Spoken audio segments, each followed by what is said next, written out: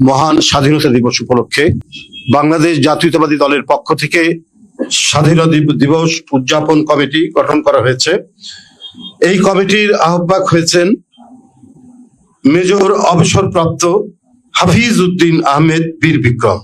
বিএনপির vice chairman, সাবেক মন্ত্রী এবং এদেশের একজন বরেণ্য মুক্তিযোদ্ধা, মেজর অবসরপ্রাপ্ত হাফিজ উদ্দিন আহমেদ বীর বিক্রম এই কমিটির আহ্বায়ক হয়েছেন। এটা সদস্য সচিব আমি, রুহুল কবির রিজভি। সদস্যরা হচ্ছেন বিএনপির যুগ্ম মহাসচিব সৈয়দ মোয়াজ্জেম হোসেন আলাল সদস্য হচ্ছেন অ্যাডভোকেট আব্দুল সালাম আজাদ, মাহবুবুর রহমান শামীম, রুহুল কুদ্দুস তালুকদার দুলু। এনারা সবাই সাংগঠনিক সম্পাদক। রাজশাহী বিভাগীয় সাংগঠনিক সম্পাদক দুলু মাহবুরন স্বামী চিটাগাং। রংপুর বিভাগের আসাদুল হাবিব দুলু, সাংগঠনিক সম্পাদক।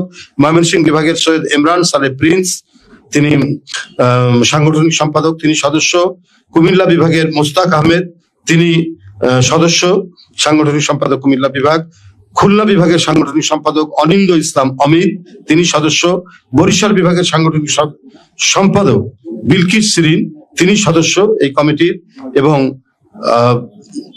ফরিদপুর বিভাগের সাংগঠনিক সম্পাদক, এই স্বাধীনতা উদযাপন কমিটির সদস্য সামাউবাই এবং সিলেট বিভাগের সাংগঠনিক সম্পাদক, এই কমিটির সদস্য, ডাক্তার সাখাত হোসেন জীবন এবং দলের প্রচার সম্পাদক সদ্য কারামুক্ত, শহীদুদ্দিন চৌধুরী, অ্যানি। দলের প্রচার সম্পাদক, সাবেক এমপি শহীদুদ্দিন চৌধুরী, অ্যানি, এর সদস্য এবং আরও সদস্য রয়েছেন।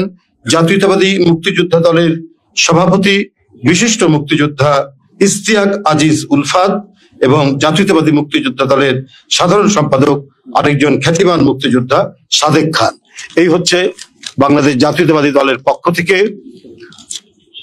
স্বাধীনতা, মহান স্বাধীনতা উদযাপন কমিটি গঠন করা হয়েছে, যা আপনাদের কাছে আমরা অবহিত